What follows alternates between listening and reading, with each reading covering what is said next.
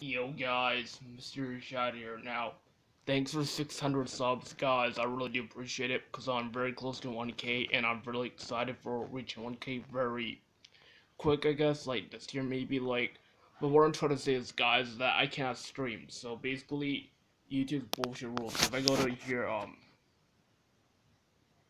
let me let me, let me do this. So if I go here, um, yeah, if I go here, uh, just for a sec yeah, just let me go here. When I go here, um, this is what happens. See, it says your channel does not meet our eligibility requirement for mobile live stream. You can still stream with your webcam or broadcast broadcast software.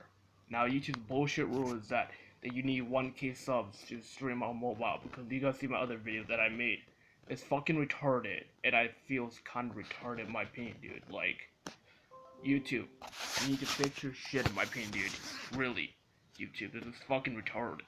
Now, I'm not trying to complain about what YouTube is doing, but YouTube is not doing what the right thing is, so, yeah.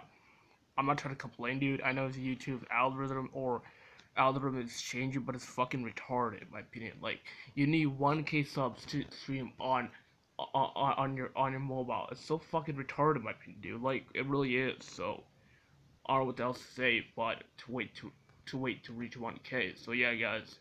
Hope you can support me and do that, all that. But I really do appreciate 600 subs. That's a lot of numbers. So yeah, guys. See you guys later.